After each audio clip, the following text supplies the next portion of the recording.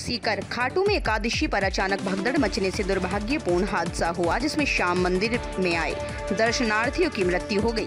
इस दुखद घटना से शोकपूर्ण प्रभावित में सनातन धर्म, भजन गायिका अंजलि द्विवेदी, हृदय की गहराइयों से श्याम बाबा से श्री बालाजी महाराज से प्रार्थना करती हूँ कि सभी पीड़ित परिवारों को उस दुख की घड़ी को सहने की शक्ति दे। मैं उनके दुख को तो नहीं बांट सकती, लेकिन मेरी तरफ़ से पीड़ित परिवारों को छोटी सी धनराशि एक लाख पचास हज़ार रूपए आर्थिक मदद करने की घोषणा करती हूँ। जय श्री श्याम।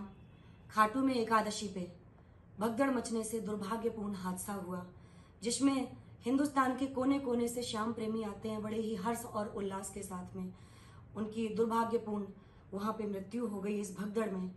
प्रेमियों, जब से मुझे पता लगा, मन बहुत विचलित है। मैं मेरे मन की पीड़ा किसी को व्यक्त भी नहीं कर सकती हूँ। लेकिन मैं बाबा श्याम से और श्री बालाजी महाराज से मैं अंजलि द्विवेदी निवेदन करती हूँ कि हे प्रभु, उन सभी के परिवारों को ये दुख की घड़ी सहने की शक्ति प्रदान करें।